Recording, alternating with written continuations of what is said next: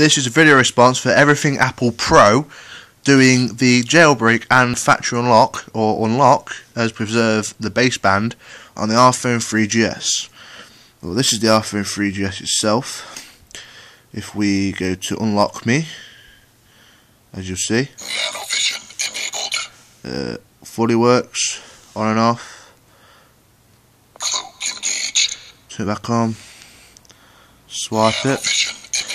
If we go to the settings and go to general and then go to about if we go down you'll see the version's 5.1.1 the most recent. The carrier was locked to orange now it's on 3 12.0 um, the, the serial was the one 102 which is the right one. And of course the baseband version 615.00 it has everything. I'm really happy with it after watching that video.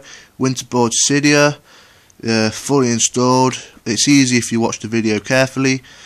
What I'm saying is thanks to Everything Apple Pro for making this possible and of course unlocking it to the network free. Thank you.